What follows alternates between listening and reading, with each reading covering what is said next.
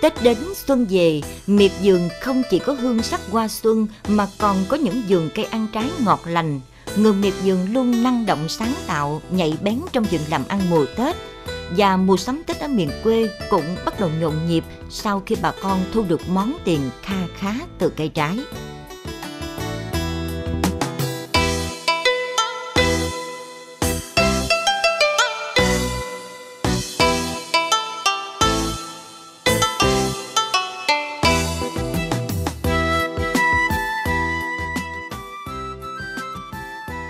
Những ngày giáp Tết, chúng tôi về thăm miệt vườn bưởi Gia Xanh Kế Sách, dùng chuyên canh bưởi trọng điểm của tỉnh Sóc Trăng. Đã vào những ngày cận Tết, nhà vườn nơi đây đang tất bật thu hoạch bưởi để kịp cho phiên chợ cuối năm.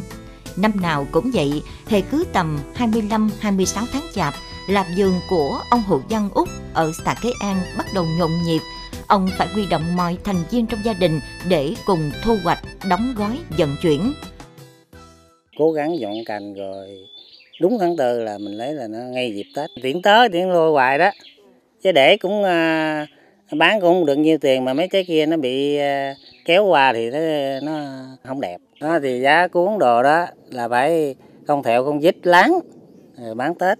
Là cái đó là kỹ lưỡng với à, anh trái nó nặng muối nó, nó rất là mỏng nước. Có thể nói Tết miệp vườn luôn đến sớm bởi để thu hoạch đúng dịp Tết, nhà vườn phải chuẩn bị canh thời điểm xử lý chăm sóc tạo tán tỉa cành cho ra trái từ nhiều tháng trước. Dù trái Tết thường ngay thời điểm giao mùa, tiết trời thay đổi nên cũng nhiều rủi ro. Không phải năm nào việc xử lý cho dịp Tết cũng suôn sẻ và đạt hiệu quả như mong muốn.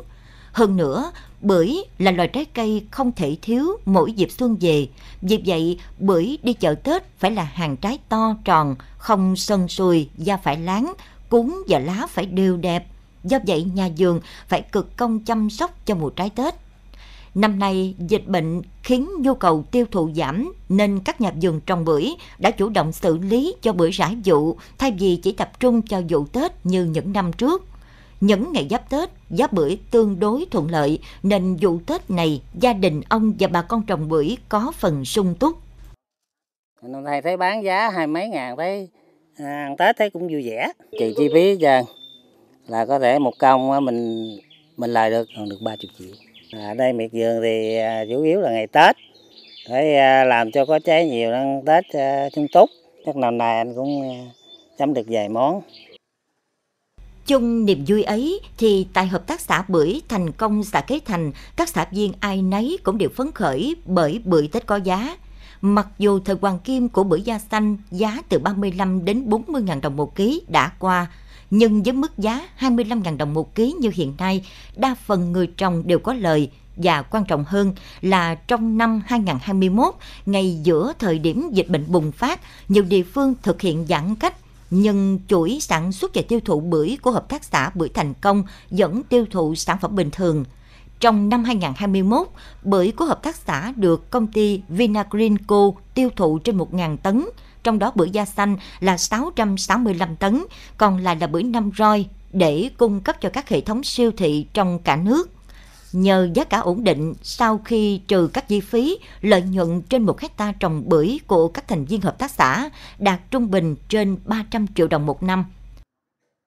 Thì hợp tác xã năm nay dự kiến là 20 tấn phục vụ bưởi Tết cũng nhiều nhiều thị trường tức là kênh siêu thị thì mình cũng đã giao cho công ty còn những cái chợ thí dụ như ta phục vụ chợ cúng này kia bà con có nhu cầu đó thì mình cũng nhận những cái đơn hàng đó để phục vụ cho bà con. Cụ thể thì năm rồi thì thương lái đến vườn thu, thu mua của hợp tác xã mình giao lại cho công ty á, thì nó nằm tầm khoảng chừng 17 18 ngàn ký hai da xanh. Thì năm nay thì nó sẽ trên lệch là nó được hai mươi mấy ngàn. Thì nó cao hơn năm rồi là khoảng 4 ngàn, 5 ngàn ký bưởi so với năm rồi. Thành ra bà con cũng ổn định hơn cái vụ rồi. Nay Tết tôi thấy nó nhộn nhịp hơn là rất nhiều tức là bà con đã có lẽ đã chuẩn bị ăn Tết lớn hơn so với năm mà có dịch là trái cây mình năm nay bán là sản lượng là bao nhiêu hai mươi mấy tấn của hợp tác xã đều bán hết. À, đối với bưởi thì à, năm nay cái sản lượng bưởi Tết thì cũng có à, giảm đi một phần.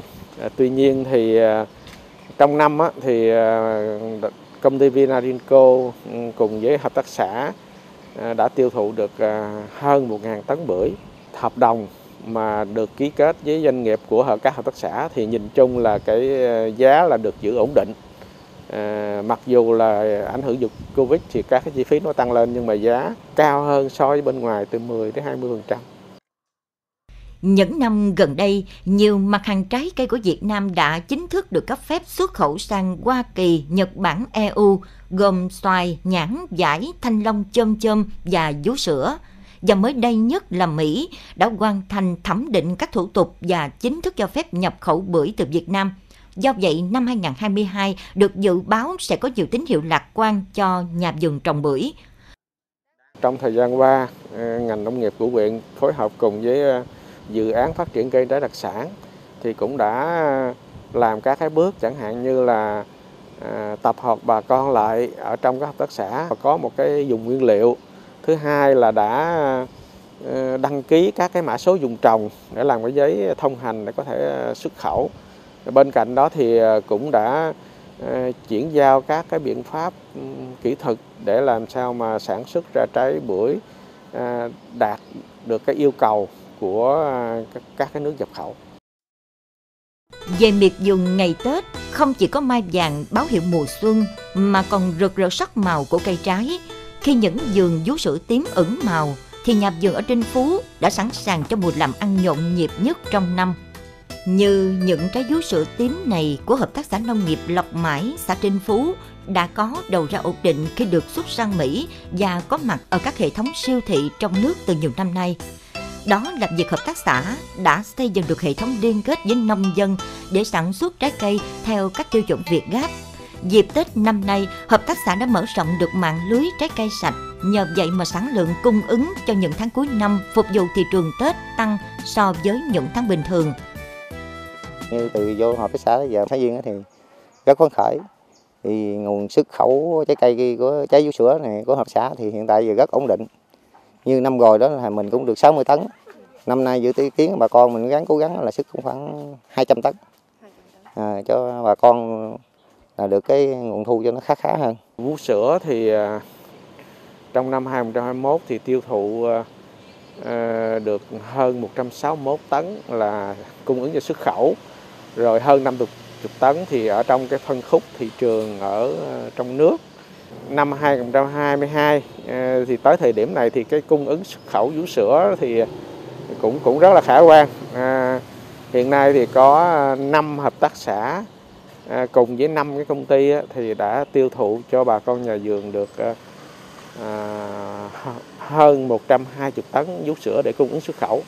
Ngoài ra thì à, hàng chục à, tấn vú sữa khác thì à, được cung ứng ở trong thị trường trong nước không rực rỡ sắc màu như phố thị mà sắc xuân ngày Tết miệt vườn mang vẻ đẹp tự nhiên của những vườn cây ăn trái triệu quả, nơi có những nhà vườn cần cù, chịu khó, luôn biết cách thích ứng với thị trường. Cư dân miệt vườn ngày nay còn năng động sáng tạo trong câu chuyện làm ăn ngày Tết, tận dụng và khai thác tốt hơn từ giá trị tài nguyên bản địa, góp phần phát triển quê hương, để mỗi mùa xuân mới qua đi, làm miệt vườn lại thêm nhiều khởi sắc và sung túc hơn. Chưa có um, thành lập cái hợp tác xã thì nông dân mình cũng ờ, bấp bênh lắm. Khi mà vô hợp tác xã này thì mình có một cái giá chuẩn luôn của công ty ờ, đưa xuống. Và thứ hai nữa mình ờ, có được cái cái mục tiêu để mình, mình làm cho cái trái sữa nó đạt hơn để mà muốn quảng bá cái cái cái cái, cái sản phẩm là vú sữa của mình nặng ra thị trường nước ngoài. Tết thì bà con cũng rất là vui. Tuy, tuy là nó hơi cực thiệt nhưng mà bà con rất là phấn khởi khi mà làm gì thì có có tiền để chỉ ăn Tết. Về miệt vườn những ngày cận Tết, hiểu thêm chuyện canh tác của bà con để thấy nhịp sống nhà nông nhiều đổi mới, thích ứng với thời cuộc, nông sản làm ra không những ngon mà còn sạch, hướng đến thị trường xuất khẩu, tiếp tục câu chuyện làm nông bền vững nơi miền sông nước.